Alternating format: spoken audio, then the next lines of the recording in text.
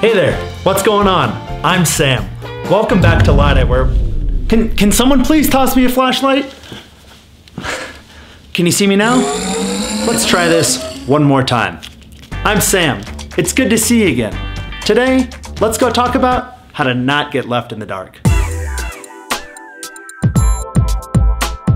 Emergency relays and switches not only keep you out of the dark, but they comply with several UL standards like UL 924 and 1008.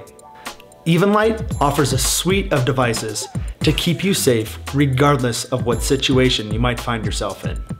One of the most efficient and versatile options is the UL 924. Let's check it out. What is a UL 924 device? Well, one example is an emergency lighting control device, like the ELCD 924 from Evenlite. It connects lighting on a normal switch leg to emergency power. In other words, it takes any normal light and turns it into a lifesaver. While it isn't actually something you'd want to eat or float down the river in, but you get the idea.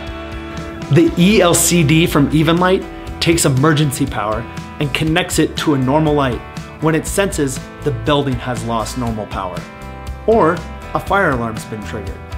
The power is transferred at zero cross with technology that is designed in-house, then factory calibrated, reducing the inrush current and increasing the longevity of the device.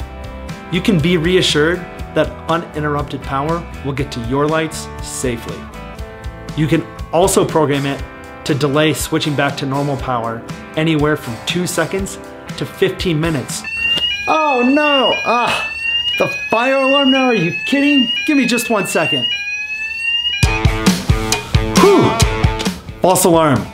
The good news is my ELCD must be working and is tied to the fire alarm panel so that my lights would stay in emergency mode regardless of any switch or dimmer status, or maybe if I bumped one running out the door. Had there really been a fire and power loss, the 5VA housing that's plenum rated and fire retardant it would have held up long enough for me to get the heck out of here. Oh, and by the way, did I mention that this ties into your dimming system too?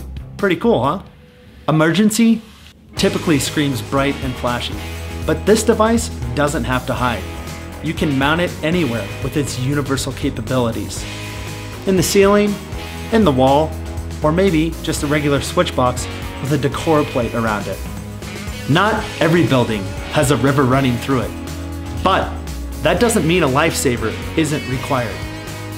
Beyond beautiful design, without controls and a means to make sure that emergency lighting works, we would all be, well, let's not go there. I tell you what, you want to learn more?